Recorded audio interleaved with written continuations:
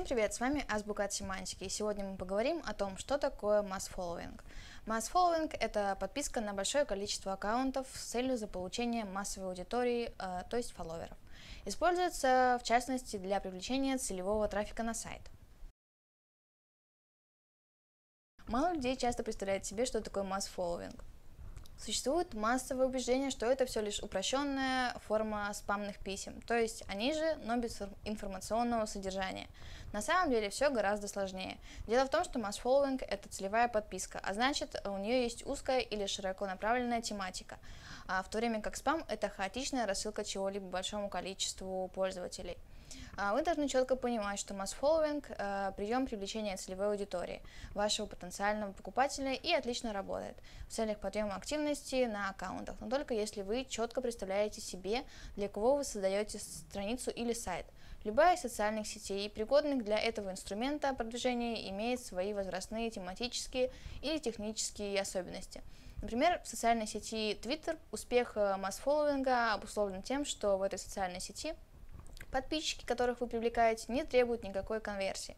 Большинство людей верят э, в правильность этого приема лишь потому, что путают конверсию и активность. Если конверсия – это аудитория, которая приводит доход, э, то активность – это просто читатели, случайные гости и, возможно, потенциальные покупатели, но не действующие в данный момент. А, запом... А, запоминаете ли вы конверсию благодаря этому приему, зависит только от того, насколько четко вы представляете специфику сети, в которой собираетесь продвигать свою страницу или продукт. ВКонтакте. Аудитория ВКонтакте в своей большей части это студенты и молодежь. Да, охват у нее довольно широкий, но тем не менее конверсия данной сети будет низкой, так как у этой социальной группы нет своего дохода. Несмотря на это, есть широкий выбор тематик, что хорошо для различного специфического продукта. Инстаграм. В Инстаграме, в отличие от ВКонтакте, сложнее с тематиками. Чаще всего здесь сидят барышни, а значит наиболее успешными будут э, различные женские тематики. Зато на данный момент это наиболее удобная для масс-фолловинга сеть. А здесь этот прием так развит, что плотно сращивается с масс-лайкингом, то есть пролайкиванием пользователей с целью взаимного лайка. Facebook. Facebook идеален для выхода на международный формат. Привлечение аудитории из различных стран необходимо для расширения вашего дела или информационного сайта. Twitter. Twitter очень хорош для различного рода информационных э, каналов и как вспомогательный элемент к основным э, каналам в других социальных сетях. А в коммерческом смысле он почти непригоден, так как имеет формат скорее интернет-СМИ, чем социальной сети. Одноклассники. Аудитория одноклассников – это сплошь люди постарше. Эта социальная сеть хороша в силу того, что почти каждый из ее пользователей имеет свой доход, но при этом тематика очень ограничена интересами старшего поколения. А, перед применением данного инструмента по продвижению следует хорошо структурировать сайт по страницу, которую вы хотите продвигать. Вы должны ответить себе на ряд э, следующих вопросов.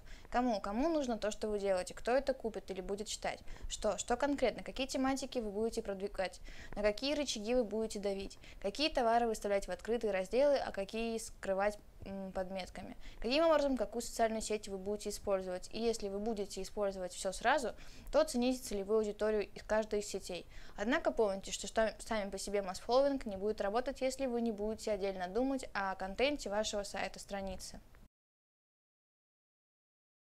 Существует ряд популярных методов ручной. Этот метод кажется долгим и муторным, но он крайне пригоден для VIP-сегмента рынка. Если информация или товар, который вы продвигаете, имеет узкую тематику или специфической области, то пригодным будет искать клиентов вручную. Причем не только фолловить их, но и заводить разговор, предлагая свой узкоспециализированный продукт или информационный сайт. А, с помощью сервисов и программ масс-фолловинга. А, по сути, сервисы и программы для фолловинга это одно и то же. Только сервисы масс-фолловинга это сайты, которые а, предлагают за раз получить большое количество подписчиков. А программы это написанные для компьютера вспомогательные приложения. Сервисы, как и программы, а, пригодны для того, чтобы за раз получать до 1000 подписчиков и не требуют особых затрат. Такие сервисы и программы часто предлагают э, и масс-лайкинг вместо с фолловингом, для того, чтобы достичь более продвинутого результата. А, наиболее популярные сервисы Telegram, э, InstaPlus, FunInsta и так далее. Все их легко найти на Google или Яндексе с помощью тематического запроса. А вне зависимости от того, какой способ вы выберете, нужно учитывать специфику. Для того, чтобы зафоловить большое количество людей, нужно сначала понять, по какому принципу их отбирать. Э, программа, упрощающая масс-фолловинг, э, включает в себя широкую подборку необходимых для поиска функций, но все равно имеет ряд особенностей. Для того, чтобы найти пользователей, которые являются вашими а, потенциальными подписчиками, нужно использовать раздел «На кого еще подписаться». Этот раздел позволяет вам найти пользователей со схожими интересами, как и у тех, которых вы уже зафоловили. Довольно удобно, так как у большинства социальных сетей продвинутая система отбора подобных а, аккаунтов. А, ленту рекомендуемых пользователей. Эта лента, если и не подкинет вам потенциальных э, читателей, то точно даст ссылки на аккаунты со схожей тематикой, что позволит вам или использовать подписчиков чужих аккаунтов э, не очень честно, или оценивать успешность вашего рынка. Хэштеги вы должны определять наиболее успешные для ваших постов, а затем пройти по ним и фолловить всех пользователей, которые их используют. Это даст хорошую тематическую подборку пользователей. А, геолокация используется, если вам важна привязка к месту. Выберите геолокацию и фоловьте всех э, пользователей, которые отметили себя на ней. Используя эти методы отбора пользователей, вы получите узкую тематическую подборку людей, которым действительно интересен ваш сайт или ваша продукция. Сервисы и программы не требуют ручного отбора пользователей. А перед началом их работы вы просто указываете необходимую тематику, хэштеги, спектр интересов и другое. Более того, они предлагают такую услугу, как unfollowing, отписка или удаление из друзей людей, которые на вас не подписались. Это удобно, но так как эти сервисы фолловят людей очень массово, то следует проявить некоторую осторожность. А, чтобы ваш аккаунт не оказался забаненным за подозрительную активность, э, нужно использовать а, следующие принципы. Если у вас новый аккаунт, совершать не более 50 подписок или друзей в день. Можно прибавить лайки, но тоже не более 50. Со второй-третьей недели аккаунта. А, наращиваем плюс 50 подписок ежедневно и так по нарастающей. Несколько месяцев. Плюс 200 подписчиков или лайков ежедневно. Полгода, без ограничений. Но не более тысячи-полторы тысячи лайков или фолловеров в сутки. Используя эти методы, вы избежите излишней активности на вашей странице или сайте и получите большое количество заинтересованных вас фолловеров. Исходя из вышеперечисленного, можно понять, что масс-фолловинг – это сильный, сильный инструмент в продвижении своей страницы или сайта.